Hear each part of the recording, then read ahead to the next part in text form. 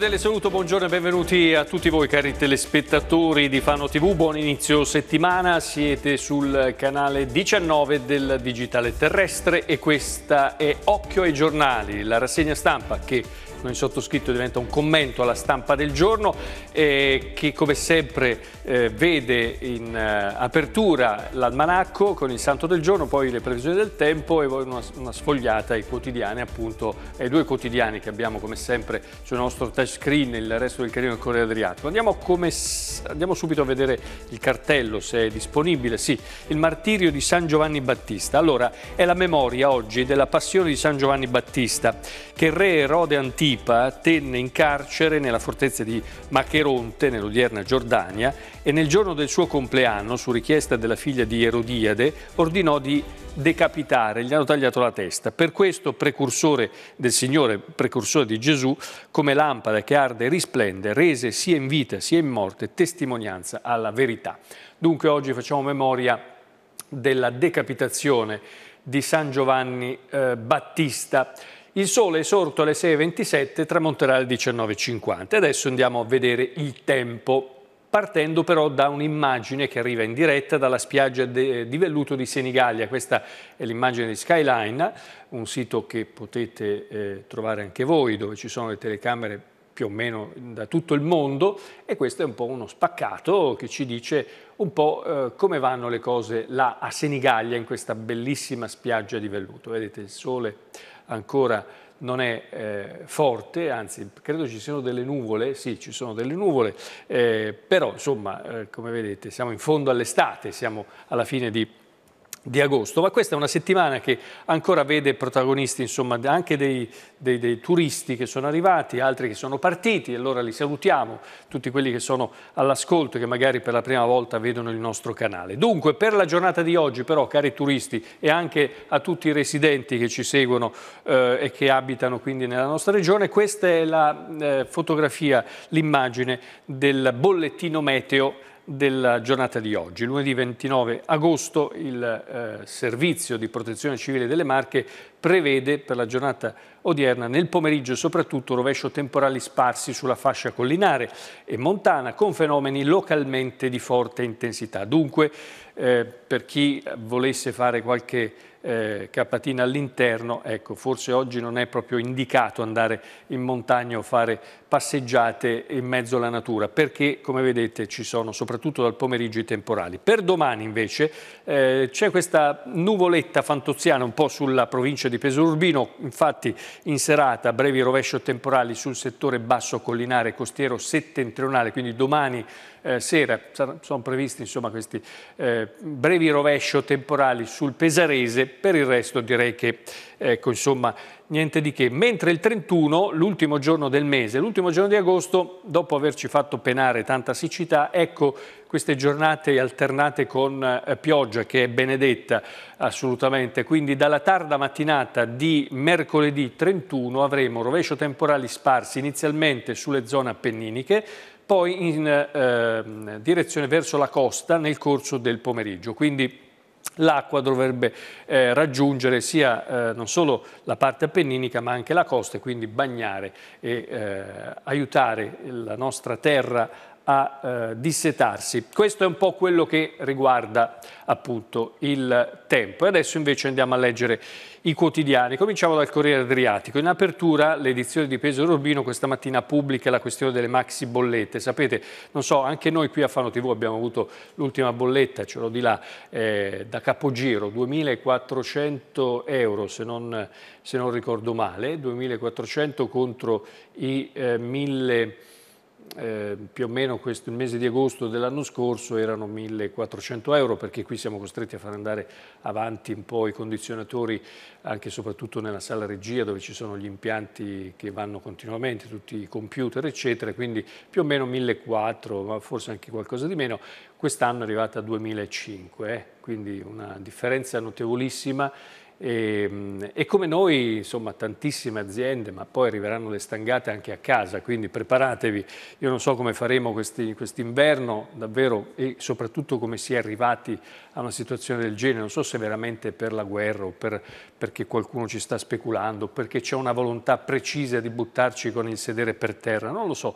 Comunque sia, questa è un po' la situazione. E adesso si comincia a parlare di addirittura didattica a distanza nelle scuole eh, che decideranno durante l'inverno di ridurre la settimana, quindi non più eh, 5-6 giorni di scuola, ma addirittura eh, uno in meno e quel giorno in meno che servirà per risparmiare energia.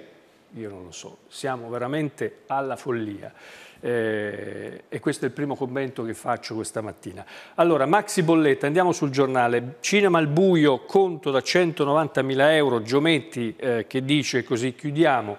Eh, scuole un'idea farle diventare mini, mini scusate, centrali elettriche, scuole un'idea farle diventare mini centrali elettriche, poi impianti natatori, cioè le piscine, ehm, sostegni per le bollette ma anche investimenti sia sull'efficientamento che la sostenibilità. Poi a centropagina, ecco, beati loro, la festa eh, di, per Matteo e Federica Pellegrini, eh, festa di nozze eh, fino all'alba, il sexy tango, poi la eh, prima notte.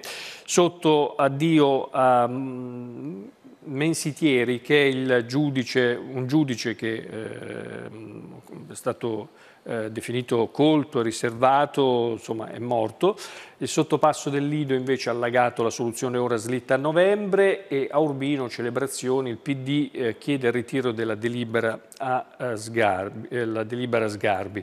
Poi un mortale purtroppo eh, sulla Flaminia a Fano, un sorpasso fatale in moto, la vittima è Fabrizio Agostini, 43 anni di Lucrezia, finito contro l'auto di turisti che svoltava a sinistra, lo vedremo tra poco. E poi lo sport, il Fano batte il Monte Giorgio e avanza in Coppa Italia. Per la politica invece c'è un'intervista sul Corriere di oggi, Battistoni, l'obiettivo è vincere dappertutto, parla appunto il commissario regionale di Forza Italia, candidato per il centrodestra nel, nel collegio uninominale alla Camera, Ascoli Fermo.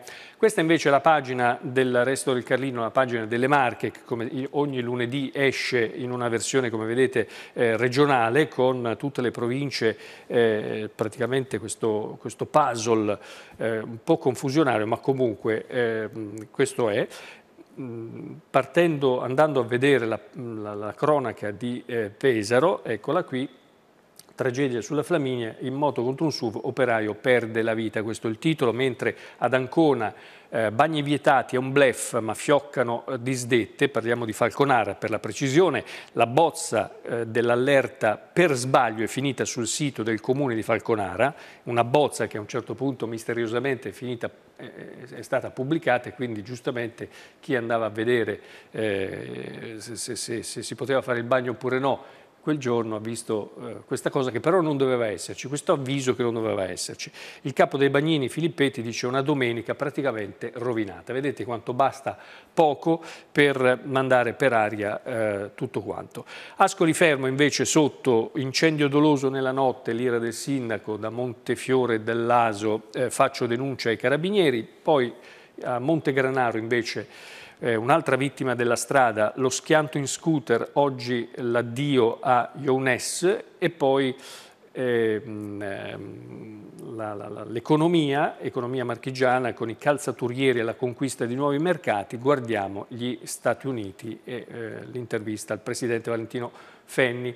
Poi c'è una notizia che arriva da Fano invece, la vedremo tra poco, eccola qua, sempre, ripeto, un po' su, su questa prima pagina un po' così dove si perdono un po' le notizie, ma comunque Fano, la variante passa sotto casa, la proprietaria eh, quando ha visto eh, il progetto è stata accolta da malore e quindi è stata portata in ospedale. Cominciamo dalle pagine interne eh, del, eh, dei giornali. Allora, il Corriere Adriatico, per quanto riguarda lo schianto fatale, eh, muore a 43 anni, questo è il titolo, la foto della eh, vittima, eh, come vedete sulla, sulla destra, Fabrizio Agostini, eccolo qua, lui è di Lucrezia, con lo scooter sorpassava l'auto che svoltava a sinistra. La Flaminia ha colpito ancora, inizia così l'articolo del giornale, la strada si rivela sempre più pericolosa a sostenere il traffico attuale, diventando teatro di incidenti mortali. Ieri intorno alle 13.15 è avvenuta l'ennesima tragedia che è costata la vita ad un motociclista che stava percorrendo l'ex consolare in direzione Maremonte eh, poco dopo la frazione di Rosciano. Fabrizio Agostini, 43 anni, celibe, conosciuto dagli amici come Bicio, residente a Lucrezia di eh, Cartoceto. E queste sono le fotografie che riguardano eh, l'impatto, anche noi stasera vi faremo vedere eh, Faremo, dedicheremo un servizio nel telegiornale delle 20.30. Ecco, questa è la motocicletta praticamente sono brutte queste fotografie, non so perché vengono stampate in questo modo dal Corriere Adriatico, non si capisce niente, ma comunque ecco, questi sono i rottami di questa moto eh, disintegrata eh, da questa BMW eh, cui è finito appunto contro lo scooter. Sotto c'è un'altra notizia invece di un soccorso, eh, un soccorso che è avvenuto, ehm, ehm, che è avvenuto a Fossombrone, un cacciatore ci è finito in questo dirupo, è precipitato nella scarpata, si ferisce gravemente, viene trasportato con l'elicottero all'ospedale di Torrete di Ancona, se la caverà il cacciatore che sabato mattina durante una battuta con i suoi cani nelle campagne vicino a Fossombrone è caduto per parecchi metri in un dirupo e ha riportato diversi traumi. La chiamata al 118 è arrivata intorno alle 7.30. Dal resto del Carlino invece ecco qua la mezza pagina che riguarda appunto questa tragedia, è rimasto cosciente, inizia così il pezzo di Derrico, è rimasto cosciente per alcuni minuti dopo il terribile schianto contro un SUV della BMW, ma poi Fabrizio Agostini, detto Bicio, 43 anni operaio di Lucrezia, non ce l'ha fatta. L'uomo era riuscito a scambiare qualche parola con i soccorritori, parole che ha sussurrato a fatica, accusando poi un forte dolore al petto e perdendo poco dopo conoscenza. L'incidente è avvenuto intorno alle 14 di ieri, nel primo pomeriggio, nella frazione di Rosciano, all'altezza del nuovo distributore di eh, carburanti. Un automobilista ha prestato i soccorsi al ferito cercando di confortarlo fino all'arrivo del 118, I, poi i sanitari gli hanno praticato un primo massaggio cardiaco eh, ma insomma, non, sono, eh, non, sono, riusciti a salvargli eh, la, eh, la, vita. E, mh, qui c'è tutto il racconto un po' della dinamica con eh, questo incidente, questo, questo, impatto tremendo con questo SUV.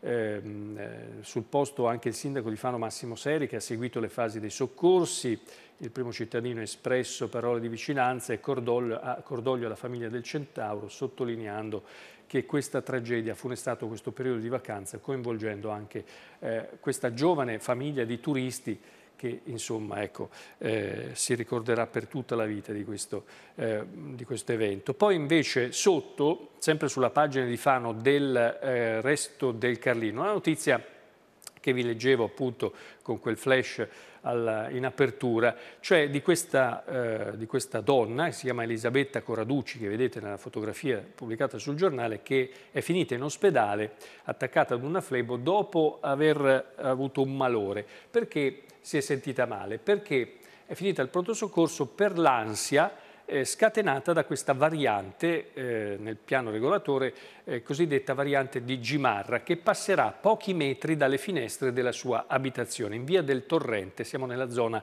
trave.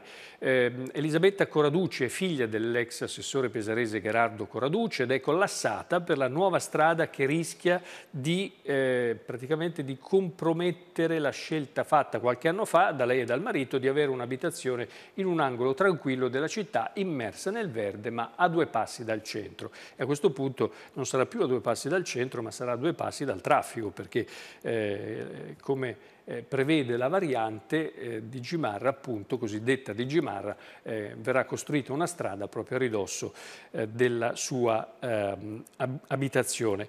Il, il, Comune, tra l'altro ehm, c'è questa procedura in corso, il Comune di Fano sta inviando 121 lettere di esproprio ai vari proprietari dei terreni interessati da questa opera eh, da questa infrastruttura viaria che servirà appunto per alleggerire poi il traffico comunque eh, per andare eh, verso, eh, verso, Pesaro. Questo è il racconto che troverete sulle eh, pagine del resto del Carlino. Torniamo invece sul Corriere, restando sulla pagina di Fano, sottopasso del Lido sott'acqua, questo è un problema che i fanesi conoscono benissimo, mentre qualche turista che probabilmente ci è capitato per la prima volta, eh, magari si sarà pure divertito a fare qualche video eh, di questo sottopasso di nuovo allagato, finito sott'acqua eh, l'altro giorno quando c'è stato il eh, temporale eh, che, ha, eh, che insomma, ha riversato su, su, su tanta, tanta pioggia in pochi minuti. L'assessore Brunori si giustifica con i tempi di Enel per collegare la cabina alla vasca perché lì in realtà eh, come ormai ben sapete, i fanesi sanno, insomma chi abita da quelle parti sa, lì c'è eh, tutto un sistema di pompaggio dell'acqua che dovrebbe poi eh, svuotare e quindi evitare eh, di, di, arrivare a quelle situazioni lì, quindi con la strada piena d'acqua, eh, questo sistema di pompaggio che porterebbe poi l'acqua direttamente sul fuori eh, sul canale. Però a quanto pare manca la corrente, insomma una cosa del genere, quindi è una cosa che sta andando avanti da un po' di tempo. Vediamo, eh, vediamo, gli allacci da realizzare, dice, eh, devono essere realizzati, dice l'assessore Brunoli, gli allacci tra la, central, tra la cabina, tra la centralina dell'Enel che è stata realizzata nei giardini vicino alla cavea e la vasca stessa dove devono essere posizionate in maniera definitiva le pompe, L'Enel ci ha garantito, dice ancora l'assessore, che questo intervento verrà effettuato entro il mese di settembre, per cui ritengo che potremo essere a regime a fine ottobre o a inizio di eh, novembre. Quindi per, questa potrebbe essere stata l'ultima... Eh, eh, l'ultimo allagamento, eh, vedremo se poi sarà così oppure no. Intanto torniamo di nuovo eh, sulla cronaca perché a pagina 22 del Corriere Adriatico di oggi c'è un'altra notizia di quelle che lascia un po' con eh, con la, la, la, il fiato senza fiato. Sono immagini che arrivano dalla stazione di Falconara, shock sui binari, si impicca ad un semaforo, lo scopre un ragazzo dal treno in corsa. Ho subito pensato che fosse un cadavere, non volevo crederci. Il recupero poi ad opera della polizia ferroviaria, la Polfer. Un ragazzo dunque che viaggia su un treno regionale per Ancona, ha un sussulto, dal finestrino scorge una sagoma inquietante, si preoccupa e lancia l'allarme. Ho subito pensato che potesse essere il corpo di un uomo che penzolava da un palo e non volevo crederci, dirà poi agli agenti di polizia ferroviaria, purtroppo però la segnalazione del giovane eh, era vera, non, non, era sbagliata. Su quel semaforo, al binario 1, a 300 metri dalla stazione di Falconara, penzolava il cadavere di un uomo di 61 anni residente ad Orte, in provincia di Viterbo. Erano le 8 di ieri mattina, in spiaggia c'erano già tanti bagnanti, ricevuto l'allarme, gli agenti della Polfer di Ancona hanno compiuto la drammatica scoperta, quella di un uomo che dalle foto sui documenti sembra ancora più giovane, che ha deciso di togliersi la vita sprofondando nel buio di un tunnel da cui è impossibile uscire. L'uomo sarebbe giunto proprio in treno dal, eh, dal Lazio. Eh, l'unica certezza non ha lasciato nessun biglietto, l'unica certezza è che non ha avuto esitazioni nell'attuare questo suo progetto di eh, morte.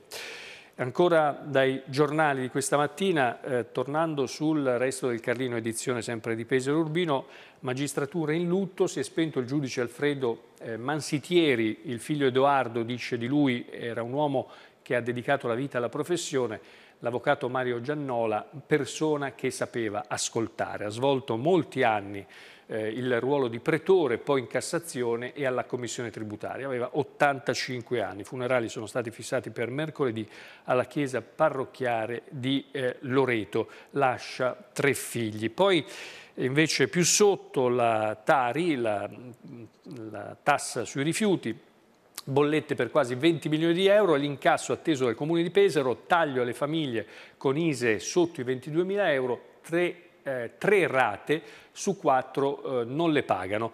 Eh, quindi c'è da pagare lì la Tari, eh, comincia così il giornale, l'articolo, ossia la, la tassa rifiuti, dei rifiuti. In comune prevedono di incassare quest'anno 19 milioni 917 mila euro, dal 3 al 5% in più, dell'anno scorso. Per pagare c'è tempo, ma si fa per dire potete farlo in una volta sola entro il 16 di settembre, ma se pensate di rateizzare la somma dovrete tenere a mente quattro scadenze, ovvero il 16 di settembre, il 16 di ottobre, il 16 novembre e il 16 di dicembre. Questo per quanto riguarda la Tari e i pesaresi che ci ascoltano e che devono pagare appunto eh, in queste eh, due modalità qua.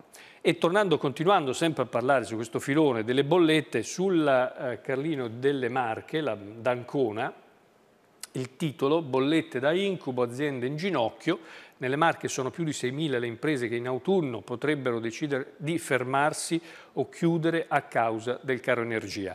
Eh, qui fatture da record, dice eh, Massimo Marchetti, eh, direttore del Cargo Pierre, fatture record da, eh, che arrivano fino a 70.000 euro d'inverno, il riscaldamento sarà a rischio, nel centro commerciale si sta già pensando a misure drastiche per risparmiare eh, qualche cosa. E poi i pannelli fotovoltaici sul tetto ci hanno evitato guai peggiori, i costi sono triplicati ma grazie al buon momento della ristorazione non dovremo alzare i prezzi dei prodotti. Poi non so se avete fatto caso, io credo che dietro ci sia un progetto davvero diabolico perché eh, uno stava che, che, sta già pensando, dico vabbè proverò a fare qualche cosa con il pellet per esempio per scaldarci dentro casa, provate ad andare a comprare un sacco di pellet e poi ne riparleremo. È aumentato anche quello e addirittura triplicherà. Quindi c'è qualcosa che non, non, non c'è qualche tentativo veramente di farci eh, morire tutti quanti. Le strade della provincia sistemate senza criterio. Questo è il titolo d'apertura invece del, eh, della, della, pagina di Val Cesano. Come vedete la protesta del sindaco di Terre Roveresche annunciata un'assemblea popolare. Eh, parliamo della viabilità che è di competenza della provincia eh, nel nostro comune che versa in uno stato preoccupante e pericoloso nonostante le continue segnalazioni, manca una programmazione degli interventi realizzati a spot senza nemmeno avvisarci, il risultato praticamente, dice il sindaco, è sotto gli occhi di tutti, stiamo eh, preparando una manifestazione comunque pacifica in pubblico, chiamando i cittadini ad adunata per far sentire la nostra eh, voce. Intanto eh, c'è, eh, la statale chiusa per una frana eh, avvenuta per il maltempo nella sera di sabato nei pressi di Urbania, è stata chiusa temporaneamente al traffico in entrambe le direzioni la strada statale 745, la cosiddetta Metaurense, nel tratto eh, vabbè, 3 km 9,9 e 12,2, le, le squadre di ANAS stanno lavorando dalla serata di sabato per rimuovere materiali e detriti. Mentre la pagina di Urbino apre con la politica, ora ritirata la delibera di eh, Sgarbi, mostra avulsa dalle celebrazioni, sul seicentenario di Federico il PD e Viva Urbino contestano la spesa di 200.000 euro a carico del Comune sull'arte contemporanea. E poi sotto Monastero di Cagli si aggrava il cedimento del tetto, il nubifragio ha provocato un ulteriore crollo a Cagli, intervengono i eh, pompieri. Dunque, vedete, quando piove eh, comunque i danni eh, ci sono e dobbiamo dire che tutto sommato rispetto ad altre situazioni che abbiamo visto anche sulle croniche nazionali, insomma qui tutte, perlomeno nel Pesarese, ah, per il momento le grandinate non si sono viste, quindi dobbiamo insomma, ringraziare il cielo almeno per questo, perché oltre il danno poi sarebbe stata anche la beffa di vedere raccolti andare in fumo. L'estate si allunga a Senigallia invece, ancora turisti, settembre andrà bene fino all'11, operatori soddisfatti per l'andamento della stagione, vacanze da 5 a 7 giorni e poi si parla di sfilate di VIP, eh, eh, eh, quindi insomma... Insomma, il, il, Corriere ne, ne, dà conto, insomma, se poi siete curiosi di sapere chi sono questi VIP, eh, andate a leggervi l'articolo. Intanto il parcheggio disabili occupato da un'auto abbandonata sul lungomare Mameli, i camper riversano liquami a terra, anche qui scene di ordinaria eh, non follia, insomma, scene di ordinaria quotidianità e questo succede quando si incontrano purtroppo e si ha a che fare anche con persone senza eh, senso e senza eh, senso civico, senza educazione civica. Eh, qui invece al posto di eh, tagliare le ore scolastiche, tagliare i giorni di scuola, bisognerebbe aumentarli e insegnare un po' di educazione civica. Allora, noi ci fermiamo qua, l'informazione torna questa sera alle 20.30 con il telegiornale Occhio alla Notizia, vi auguro come sempre di trascorrere una serena giornata e se volete collaborare con la nostra redazione il numero lo vedete in sovraimpressione, c'è il sito occhionotizia.it oppure 338 4968 250. A tutti voi buona giornata. Música